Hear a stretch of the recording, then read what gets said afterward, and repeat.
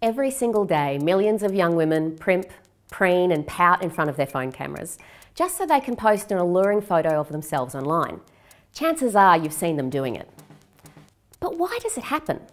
Are these women just passive tools of the patriarchy, commodifying their own body to suit the needs of men?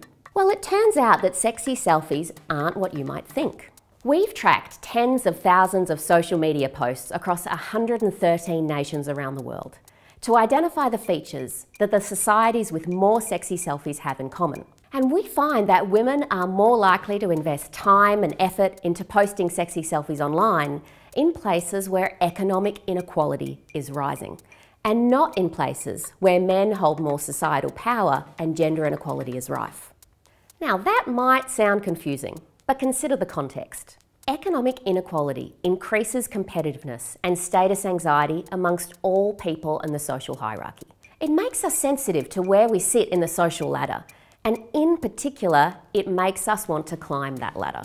Now, that income inequality is a big predictor of sexy selfies suggests that sexy selfies, just like other appearance enhancing behaviours like using cosmetics or even brand name accessories, are actually markers of social climbing amongst women that track economic incentives in the local environment. Now, rightly or wrongly, in today's environment, looking sexy can generate large returns, economically, socially, and personally. In an evolutionary sense, these kinds of behaviours are completely rational, even adaptive. Telling young women to stop posting sexy selfies is like asking them to forego the pot of capital that youth bestows on them, even though that they know that its value diminishes in time. Now, this doesn't mean there are no risks.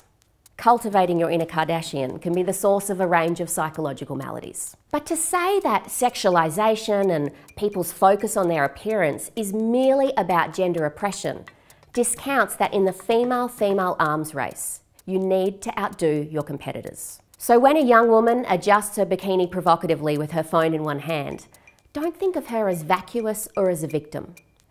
Think of her as a strategic player in a complex social and evolutionary game.